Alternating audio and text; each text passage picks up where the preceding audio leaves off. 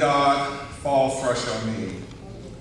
Spirit of the living God, fall fresh on me. Melt me, mold me, fill me, and use me, that the words of my mouth and the meditations of my heart will be acceptable in thy sight. O Lord, my God and my strength. Amen. Amen. Our scripture that was read for you today, 1 Peter chapter 3, verses 18 through 18 and 19 says, For Christ also has once suffered for sins, the just for the unjust, that he might bring us to God, being put to death in the flesh, but quickened by the Spirit. And then verse 19 says, By which he also went and preached unto the spirits in prison. Now, spirits in prison. Now that could be paradise because that's where spirits are. But in the context of this, if you read a little further, you'll see he's talking about a period of time back before the flood. So it leads me to believe he's talking about another spirit world. And because he's talking about another spirit world, he went there. And my subject for today is, what in hell happened? now, if you feel like you're going to lose your sanctification, Let's just turn to your neighbor and say, what happened in hell?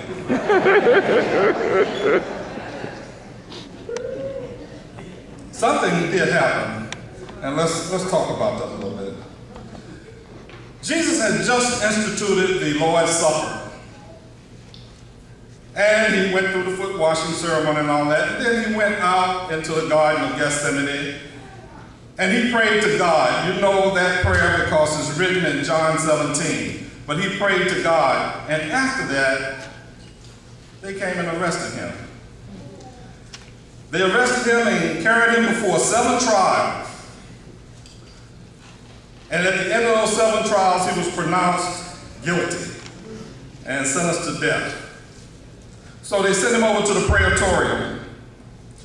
And there all kinds of things happened to him brutal, they brutalized him and they abused him, and just beat and just did all kind of things to him.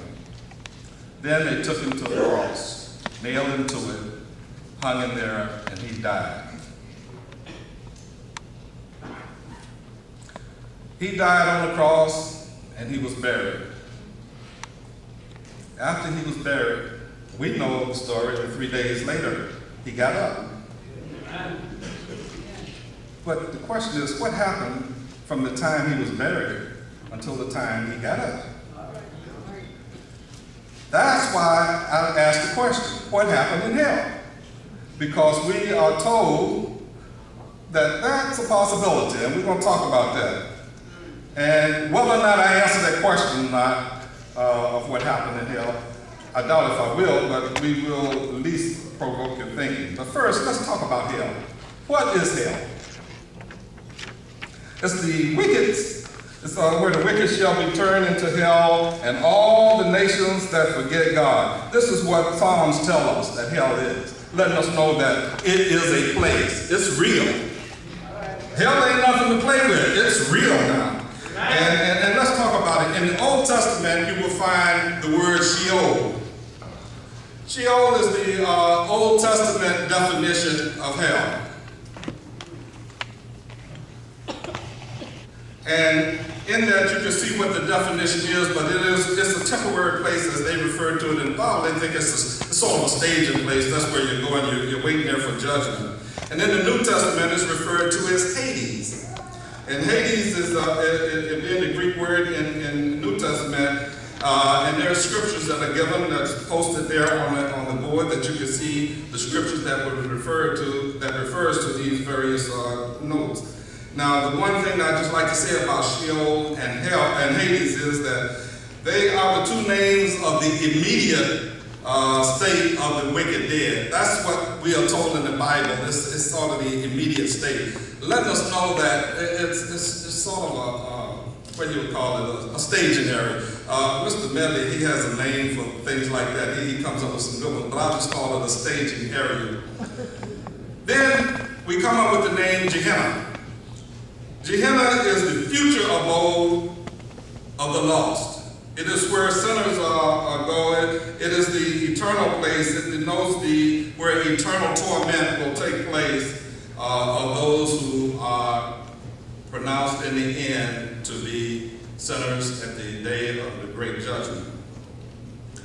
Hell is a place for sinners. Now, I'm just going to summarize this real quick for you. Hell was not made for mankind.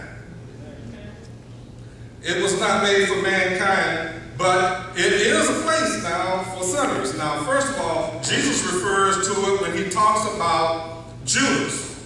And he says Judas, after doing this thing, you know, Judas, he, he betrayed Jesus and he went and he, he, when he found out that Jesus was going to be sentenced to death, he went back to the high priest to try to give back the 30 pieces of silver. And they wouldn't take it. So what happened? Judas goes off and he hangs himself.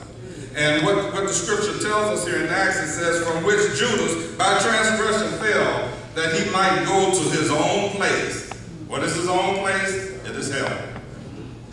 And in John, the high priestly prayer that I referred to, where Jesus prayed in the Garden of Gethsemane, he said this about, about Judas. He says, While I was with thee, with them in the world, I kept them by thy name. Those that thou gavest me, I have kept and none of them is lost but the son of perdition, that the scripture might be fulfilled. And that son that he lost was Judas. So he went to this place. Hell is an eternal place. Hell is, uh, in the end, will be will end up in the lake of fire. As you will find in Revelation, hell is taken and just thrown into the lake of fire. But it was not prepared for mankind, it was prepared for the devil and his angels. And we find that in the scriptures, uh, in Matthew 25, 41, that it was prepared for the devil and his angels. Now that we know that hell is real and it's a place, let's talk a little bit now about the subject matter. I believe in God the Father Almighty, the maker of heaven and earth, and in Jesus Christ, his only Son, our Lord, who was conceived by the Holy Ghost, born of the Virgin Mary, suffered under Pontius Pilate, was crucified, dead, and buried. The third, the third day he rose from dead. That's what we said. But when I first learned it, dead and buried and descended into hell. The third day he rose from the dead. Somewhere down the line, that was taken out of the Apostles' Creed. But if you do research on the Apostles' Creed, you will find that that phrase is in the original Apostles' Creed, that he descended into hell. The third day he arose. So, that lets me know then that yes, that tells me that there's another reason that that phrase is in there, and that is to show that Jesus Christ literally died. There was a separation of the body and soul. And, and so when that separation occurs, the, the soul and the spirit goes off to this other place.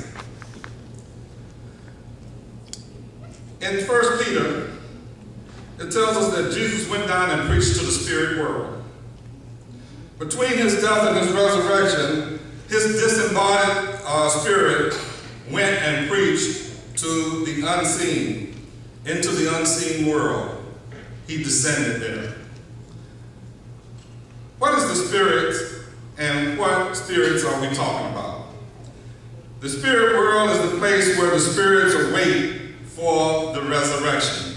It could be hell or it could be paradise, depending upon what state you were in when you left here.